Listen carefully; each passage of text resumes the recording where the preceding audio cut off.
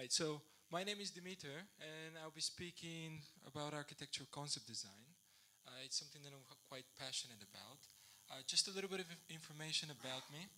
I'm an architect that's been using Blender since 2007.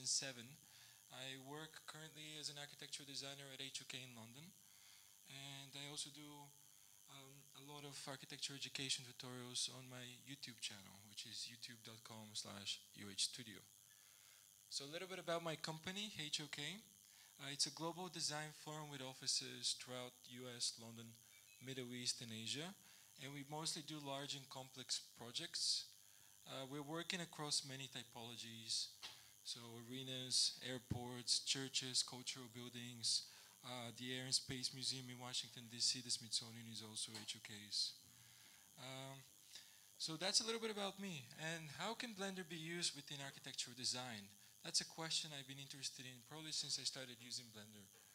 Uh, so one of the ways that we all know is architectural visualization. These are some of my examples. You can clearly see that's not what I do all day, every day. Uh, but what I'm more interested in is Blender as a design tool. So let's take a step back. Let's look at architecture and the kind of tools that we use typically for design.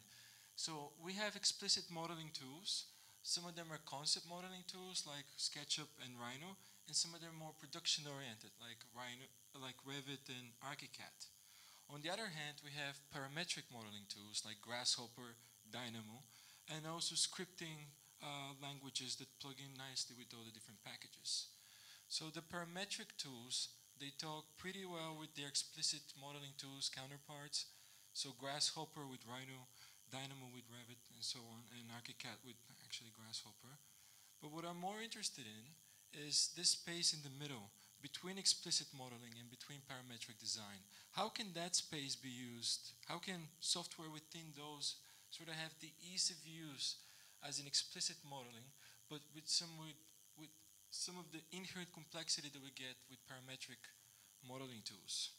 So as an example, here's in Rhino how we create something simple, right? We have a cube or sort of a cube, we have two lines that we start, we create a planar surface in between them, and then we extrude. The issue is, if we want to change the cube, I can turn on the vertices and move some elements around, but at some point I'm going to break the object, and I'm going to have to rebuild it from scratch from the bottom up. On the other hand, we have tools like Grasshopper, which allow us to be very precise, create exactly what we want, and have a lot of control. Trouble is, to create this really nice sketch that you see here only in 2D, this is the amount of scripting that we need.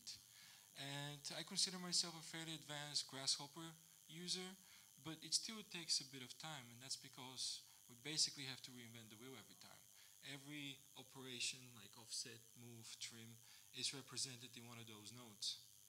So, thinking about that space in between again, what, what kind of software within architectural design is there that sort of fills that nice gap between explicit and more parametric or procedural modeling. So Maya, believe it or not, is actually one that's quite used within some circles of architectural design. And it has the history, so it sort of remembers all the history, so you can modify a cube quite late into the process, even though it's one of the first operations that you've done. On the other hand, we have CATIA, which is one of the most uh, successful CAD and 3D NURBS softwares, usually used for aeronautics, aviation, uh, transportation industries, but they're investing a lot to get their architectural tool set on par.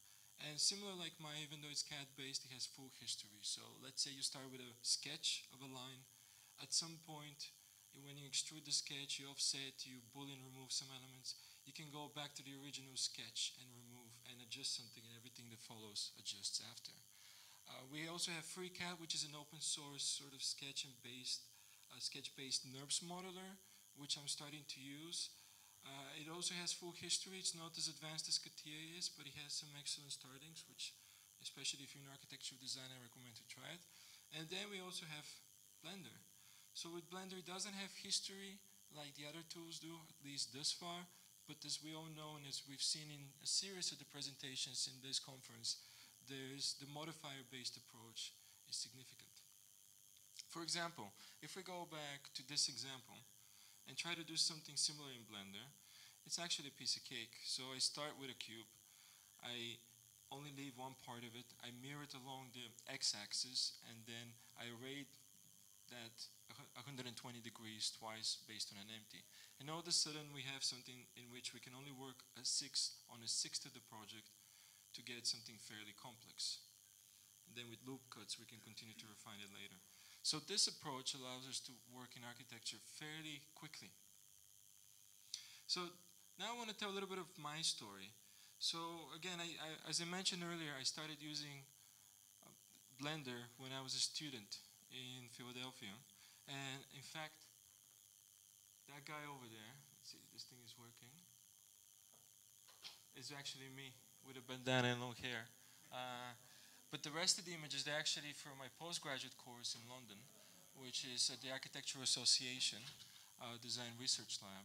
And in it, it's a mostly computational design course where we get taught all kinds of different software, how to use them, Maya, um, processing, Grasshopper, Python, uh, Java, C Sharp. We get exposed to a lot of things. It's a year and a half course, so we, although we get exposed, there isn't a lot of time to actually go in full depth without it.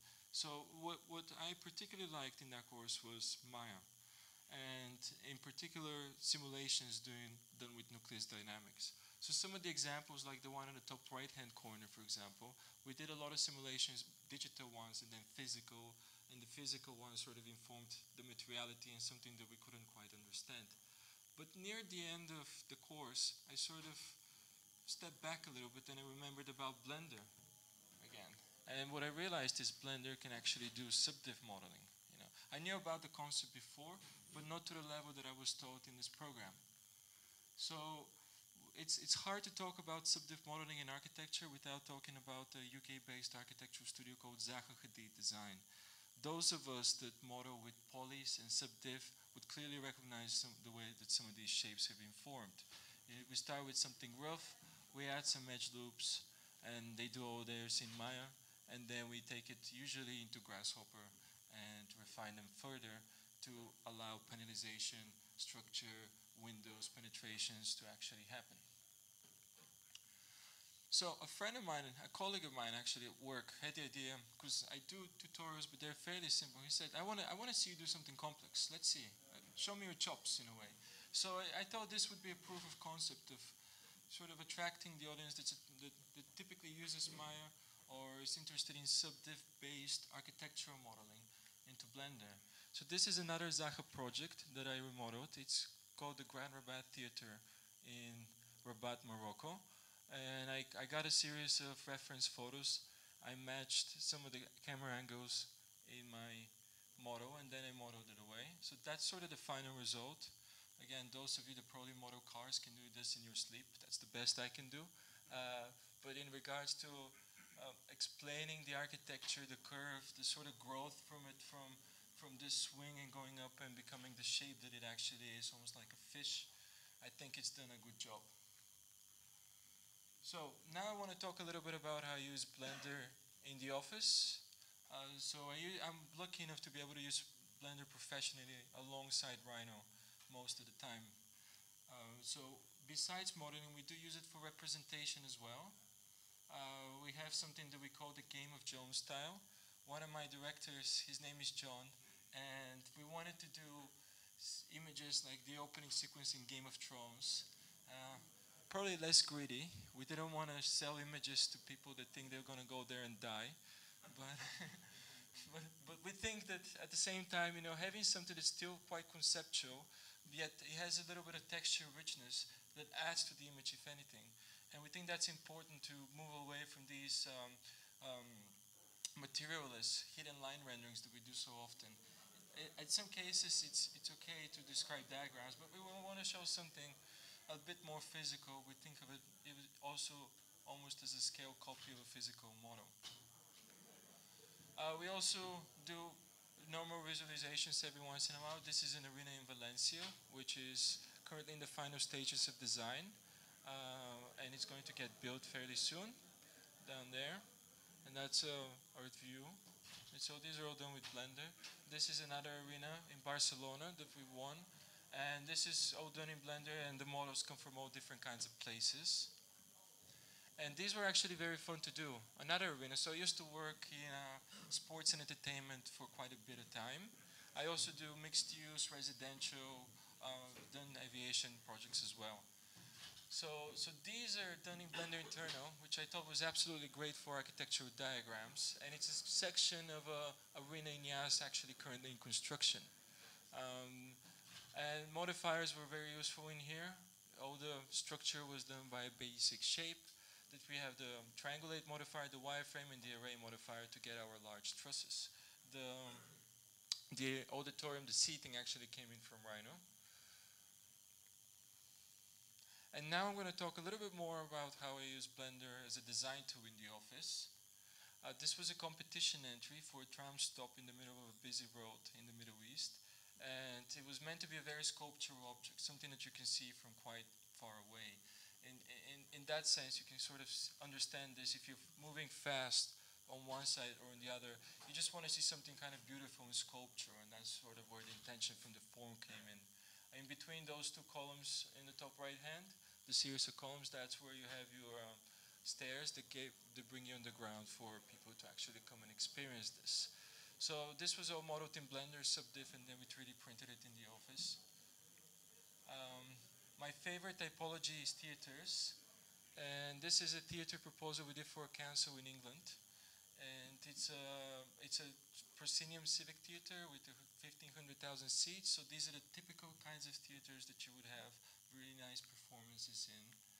Um, uh, I love theaters because they're quite civic in nature, right? This is in the center of town. There's a, a, lo a lot of public functions in between the sort of theater space here and the public realm in this side. So in this case, the interior was modeled in Blender. Uh, very simple subdiv modeling, yet at the same point, quite easy to get exactly what we need. Because when we design within architecture, when we move any single point, it actually has ramifications. It's similar to what was mentioned in the first day, that we sort of built our own worlds, right? When we design architecture, it's very similar. We build our own world and we have to understand what those design rules are to make this a successful or unsuccessful place. In this case, the, um, the ceiling, and this is sort of a finished rendering of it from a um, different company. Uh, so the ceiling needed to perform architecturally as well. It needs to look beautiful, but it needs to be curved, uh, curved and in order for sound to not bounce too awkwardly. Uh, we, we also have the bands on top, which are for lights to come through over here. And then we have to make sure that all the people that are sitting outside of the balconies, they have a good view out as well. So it's a few things to consider in something that in, in regards to modeling is fairly simple, but in regards to architecture, it is not. And I also want to mention a little bit about uh, images, finished images in architecture. Many times we don't have the time to work in in-house to create beautiful images. So we work with a lot of external companies to, to help us with the visualization. This one was done by Wire Collective. The director is actually a friend of mine who's up here as well. We met because of Blender. uh, so to continue, this is a, a portal, an outdoor space, and the idea behind it is that we have a fixed uh, structure for events to occur but it could be open for people to pass through if you imagine that sort of blue stage layer disappearing. Oh, this was completely done in Blender. Again, if you look at the trusses, they're very simple. It's a, it's a box, it's a plane with edge loops. Then we have a, a triangulate modifier, wireframe modifier, and then array modifier. And if you look at the series of different structures that are happening across that top structural bit, all of them are modeled in a similar manner the light and the rig as well. So we have something fairly complex that render allows us to produce in a fairly easy manner. This was one of those 11th hour competitions for an airport. Um, basically, the, um, one of the directors on the project came to me two, two hours before the project was due. and he said, we, we're doing an airport, we need a roof. We need to come up with something. Fine, let's see what we can do here. Uh, so we started with the module. We knew what the idea was. I needed to design the module a little bit in such a way that it's, it's easy to array in both directions. So then we have a series of modifiers. We have a modifier in the x direction once, we have an array modifier in the y direction once, and then a third array modifier that brings the whole thing out. Then that's followed by a lattice modifier that sort of picks it up. And then we have a second lattice modifier that locally deforms it, as you can see in some of those elements. And we're left with something that, again, this is done by a third visualizing company. We have something that starts to suggest architectural space and atmosphere. Um, this is a cultural master plan in a part of London where we're looking for, for suggestions to the council. It's on a site with an existing theater, and we're thinking if we make this in a, a cultural and entertainment master plan, what can we put there? So in this case, we're looking at extending the existing theater or creating a new theater and creating a black box for larger events and an existing outdoor space. Uh, all these, some of the geometry came from Rhino, some of it was modeled simply in Blender. And you know, it's very simple. Everything is parented to the massing, so when we move something around, we just take a, a screenshot of rendering and then we have a new option about it. Also in these kinds of scenes, I use particles to put people. They're quite abstract. We don't have the typical architectural detail that allows us to understand scale, like doors and windows, so people help significantly these used by using particles to put them in OR scenes also help. Uh, this is a bit more detailed study. Uh, so we do a lot of facades for our buildings as well. This is for competition and it's a diagrid and it's using the wonderful plugin that Alessandro's been working on, Tissue. Uh, so we have a series of groups here that modify the depth of any of these triangulated panels that come out. The idea is that based on the solar studies that we're doing, some of these can be can pop out more, and some of them actually blend in with the rest of the facade up higher. And here's a, uh, a series of different tessellations, again using tissue. These were studies for a facade pattern for an arena. So we have the same base mesh in all three options, in which we're just using a different panel understand that. Hmm. And this is with regular modifiers.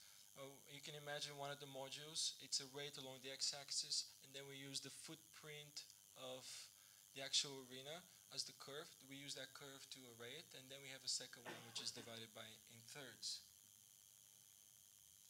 So again, I, all kinds of quick facades, especially a little bit more complex, I, we do them in Blender because it's fairly easy. Uh, once we did a series of studies, we sort of had an idea of what we wanted to achieve. Uh, this is one of the options. So the idea is, if we have a facade that's draped over the whole building, is there a way that we can sort of expose the important parts, reveal some of the guts? In this case, we're pinching the points of the entrance and also the concourse level, which is meant to be used public with restaurants and it's meant to be a destination on non-event days as well. So I did a series of these tests in Blender as well, where it's a very simple mesh, and with soft selection and shape keys, I pick up some of the forms to look at uh, whether that's achieving something along the lines that I want. In this case, from this example, I grabbed a couple of the loop curves. So you can see here, we grabbed the bottom, the middle, and the top curve from this previous example. And after that, I took it into Rhino, took those curves, subdivided them nicely to create a rational structure for both the the, the long term, the, the beam spanning the long direction and the beam spanning in the short direction that we then panelize afterwards. So uh, it, to do these kinds of curves, you can do them in, in Rhino as well. You probably won't get the same sort of effect because with, with, with subdivision modeling, you understand that the whole element is acting as an entity, which is something very important for preserving the co continuity of the curves. And because I'm using soft selection on a continuous mesh, it sort of adjusts what I want later down the line as well. Not just the bottom curve, for example, but the middle curve in here as well. So we continue to do a series of studies for tilings. These are just done with modifiers to understand how light reflects on all of these and how smooth the gradient between something that's shaded and non-shaded is. So that I, I also continue to use in projects, unfortunately, I cannot talk about at the moment at work. But um, my wife's not too happy that when I go home, I, I work on computers all day, and then I go home and I continue to work on Blender all night as well. So this is some of my personal work. Again, uh, I, I think this understanding this sort of functionality in Blender beyond ArchViz is still in its infancy, and I only wish to promote that further. So in my YouTube channel, I create tutorials on how to do some simple elements. Within architecture, the pavilion is a great typology because it's fairly simple, and we use it a lot to explain either design concepts or software, like how to do things on the software side of things. So in this case, we have a simple pavilion. This is one of my first tutorials, uh, and it's created with an array modifier, with a curve modifier. It's around a curved garden in London. And then we have a couple of lattice modifiers to create something fairly rich quickly. Again, if I were to do something like this in Grasshopper, I would do it. It would probably be a little bit more buildable and more rationalized, but it would take probably three times as long, if not even more, to achieve. So, as I mentioned before, I love theaters. So once I understood how to do real theaters in the office, I visited a node um, project of mine, student project, in a very tight site in Philadelphia, and I decided to see if I can redo it and sort of plug um, a theater inside of it. I did quick sketches in CAD in Rhino about what the theater layouts at the different levels need to be in a section, which I then imported into Blender and used as a basis for understanding how to mass the shape. The idea behind this is that it's, it's, it's fairly large building. It sits in a fairly classical context it's not going to look like a house because it's significantly larger. Neither sh should it look like a house, in my opinion, but those vary. But the idea is that it does have some relationship to the context. In this case, we're sort of picking up the top line, and we have a setback that happens beyond it. Doing this in Blender was very useful because it's what I call digital modeling, and not digital modeling in the sense that we literally sculpt with a sculpt brush. Digital modeling in the sense that we start with a box, we loop cut, and we pull vertices with ease that we can then apply modifiers to afterwards. And this is sort of the final result from that study as well. Um, does anybody here get a niche sometimes to do something? You know, you're really good at something, it's been a while that you've done it, and you just, you gotta do it, right? So, so this was one of these. Uh, again, at, at, the university, we did a lot of uh, polygonal modeling, subdiv modeling, so I kind of understand how topology works fairly well, at least within architectural context. Uh, so this is, again, very simple. We start with a very small chunk that we array both on the x and the y axes. Then, sorry, mirror on the x and the y axis. Then we array it, and then we use a curve to deform it. And by just modifying a very small chunk, I can see the global effect as well. So it's a, it was a fairly fun project to do, which creates some sort of interesting, uh, very rich expression in regards to, to bridge. So this is a more recent project that I worked. I wanted to push tissue actually a little, a little bit more. It's uh, yeah, something that I'm quite interested in. So I did this quick sketch of uh, having two buildings. So it's a mixed-use site, somewhere imaginary, where we have one solid site and another solid site. And then we have this sort of uh, public space, right? It's retail perhaps on the ground levels in the podium. And then the public space becomes that middle bit here, which is sort of the, the, the, public elements in between the buildings. So that's where you would have your lifts, you have some atriums, some sort of regular lounge spaces, sort of like if you imagine here outside, we have the stair. So that's sort of the blue part in the sketch. And uh, this was the first sort of sketch idea, and this is more of a finished element. And it, again, it's all using tissue. I'm going to show you the base mesh initially, but I found this very kind of fun way to, to approach in some ways computational design within architecture. And here's sort of another view. And now I want to show you some of, that's a different thing. It's going very fast. Yeah, so that's the base mesh that we start with. And then I, I think I did a subdivide and then unsubdivide to get the diagrid. So I had my diagrid panels, and after I had those, then I applied my panel. And if I go back now to presentation.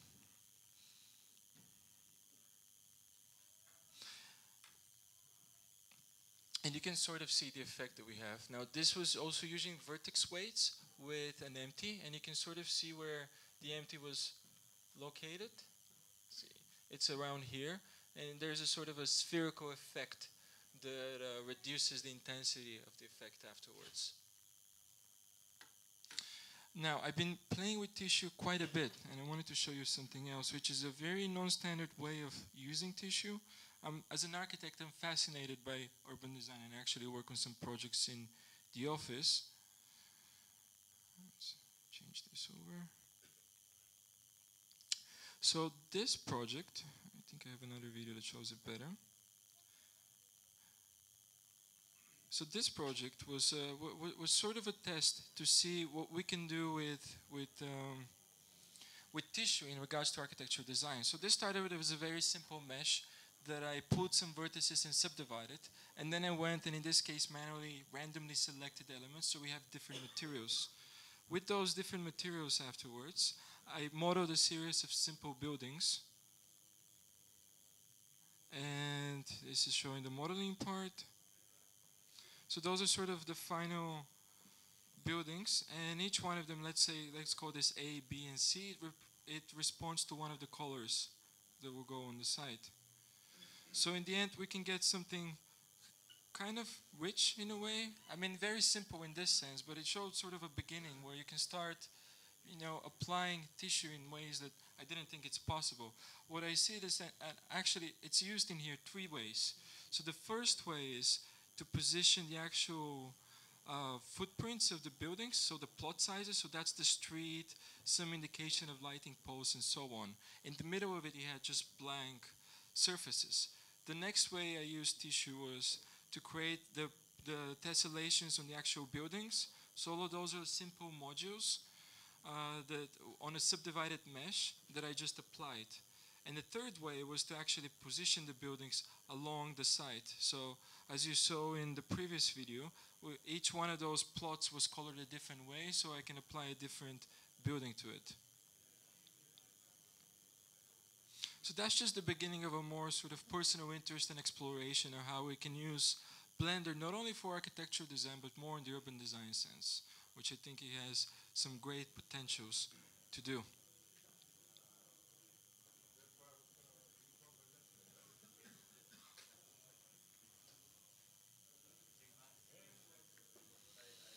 Yeah, so the next steps for me is to continue to spread the use of Blender for architectural concept design. And I'm also working on a course on Blender as well, which is very much looking at the things that I was just showing. So thanks again for checking this out. Uh, please visit me on YouTube, UH Studio.